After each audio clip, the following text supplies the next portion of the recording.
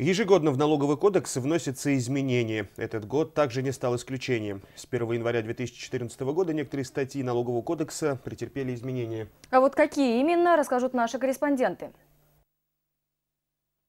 Поправки были внесены в статьи, непосредственно обсуждаемые налогоплательщиками. Это ставки на транспорт, завезенные на территорию Казахстана. Изменили ставки на транспорт объемом свыше 4-5 кубических метров. Также претерпели изменения ставки имущественного налога. Если по городу Уральску раньше было 18 тысяч, сейчас выросло до 36 тысяч.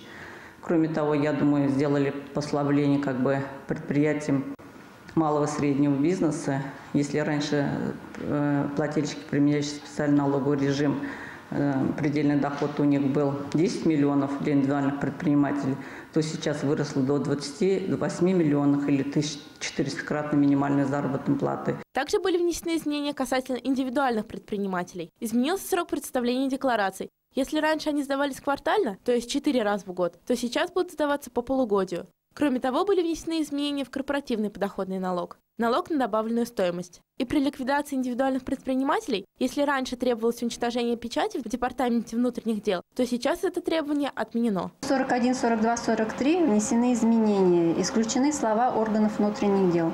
То есть при прекращении индивидуального предпринимателя, частного нотариуса, адвоката не предоставляется справка с органов внутренних дел об уничтожении печати.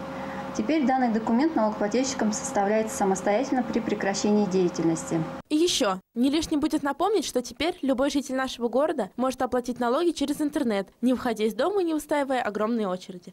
Виктория Исаева, Алтенбек Майкенов, Александр Грабарев, ТДК-42.